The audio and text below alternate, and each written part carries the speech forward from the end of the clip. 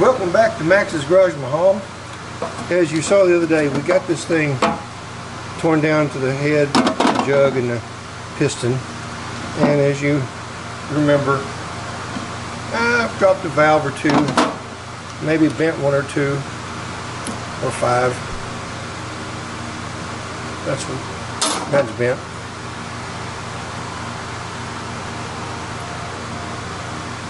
It's bent.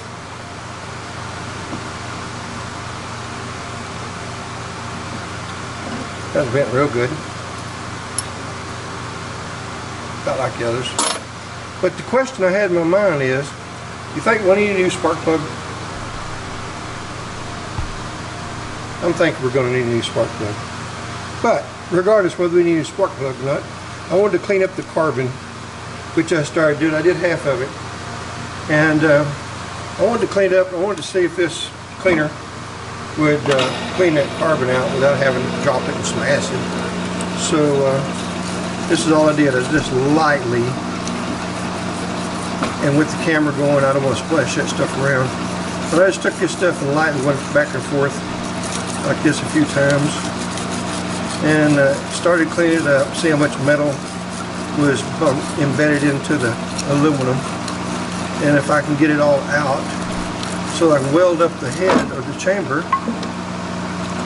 And uh, if I can weld up the chamber cut new put some new guides in cut new seats that might save oh about $300 so you know the idea of this rig uh, Roach to Racing series is to uh, try to take this old bike and uh, without spending more we have to.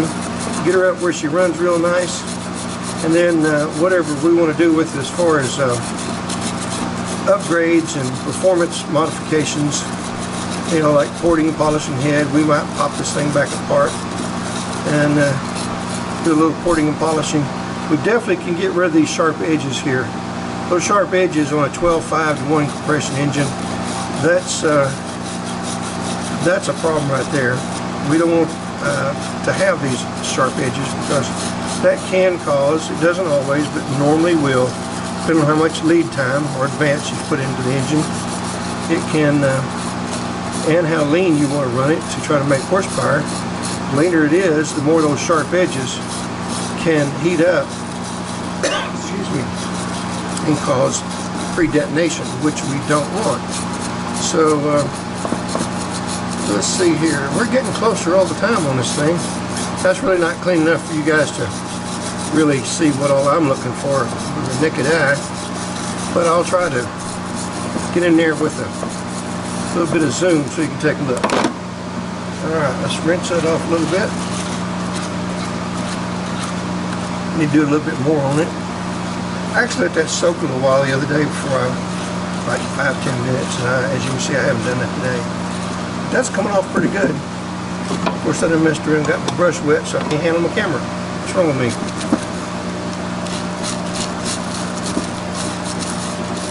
You know, that being a stainless steel brush, we sure don't want to scrub too hard. But scrub some aluminum way.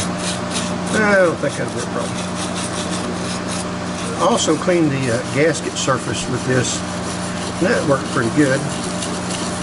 And uh, as you can see, it takes that gasket right off. Pretty nice, huh? Alright, now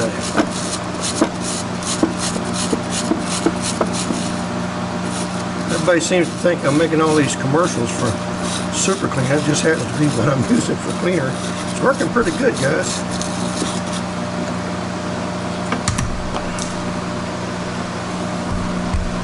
camera's between me and y'all and the head, so it makes it a little difficult. I don't, don't want to splash it up on the bike or the like on the camera lens for sure. That might ruin that lens forever.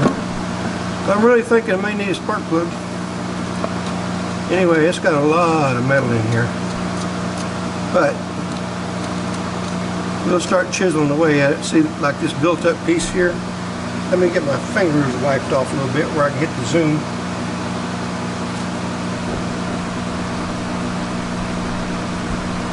How far we can zoom in without it blurring. You might be able to see that sharp edge here. And what that sharp edge is, it's either a part of the piston, part of the valve stem, valve head.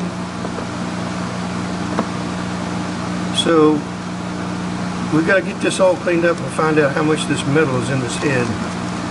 And uh, hopefully we'll be able to uh, get new guides in this thing after we weld it up. Hope there will be enough material there to cut in new seats, put the valves in, cut the valves and seats together and lap them in real nice and uh, maybe we'll be able to salvage his head. Now the top of the head, um, I had to build me a little line hole here and what I use for that is a 5/8 spark plug socket. Did a one and a quarter wraps of paper 220 so the exhaust valve still not turning easily. Intake's nice and smooth, it doesn't have any play in it. But this sucker over here, it is, well I borrowed my doggone wrench I was turning it with. But anyway, you're not turning it with the bare hand. And of course it's not going to turn real well with parts cleaner in there, but even when I put a little oil on it, it still doesn't want to turn. So we've got that to do yet. And I want to work the head as though we know it's salvageable and uh, we'll keep bringing that to you as we go forward. But let's keep these segments short and uh, we'll come back when we have something else to show you and at this time we don't. This is all she wrote for this one. So hope you're getting some out of this and if you are then be sure to uh, subscribe, hit that like button and um, by the way what do y'all think about putting this right up here? LOL. Not a big deal. It's just a decal. Okay, guys, we appreciate you coming by Max's Garage Hall, as we always say here at Max's Garage Hall, y'all come back see us now, you hear?